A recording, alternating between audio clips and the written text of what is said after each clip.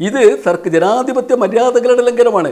ജനാധിപത്യ അവകാശങ്ങളുടെ ലംഘനമാണ്. അഭിപ്രായ സ്വാതന്ത്ര്യത്തിന്റെ ലംഘനമാണ്. പത്രമാധ്യമ പ്രവർത്തകരുടെ സ്വാതന്ത്ര്യത്തിന്റെ ലംഘനമാണ്. പത്ര അവകാശങ്ങളുടെ ലംഘനമാണ്. ഈ ലംഘനത്തിന് ഇടതുപക്ഷ എൽ ഡി എഫ് കൂട്ടുനിന്നാൽ സി പി എം കൂട്ടുനിന്നാൽ അതെങ്ങനെയാണ് ആഘോഷിക്കപ്പെടുന്നതാവുന്നത്? അതെങ്ങനെയാണ് സൈബർ സേനകൾക്ക് ആഘോഷിക്കാൻ കഴിയുന്നതാവുന്നത്? അതായത് സൈബർ സേനകൾ എന്ന് പറഞ്ഞാൽ ഒരു സമാന്തര മാധ്യമ സേനയെ ഒരുപക്ഷെ ഹിറ്റ്ലറൊക്കെ രൂപീകരിച്ച പോലെ.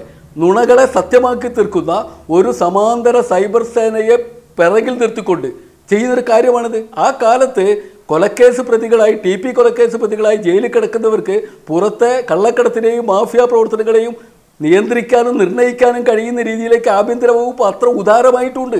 ഇതൊക്കെ നടക്കുന്ന കാലത്താണ് നമ്മൾ ആലോചിക്കണം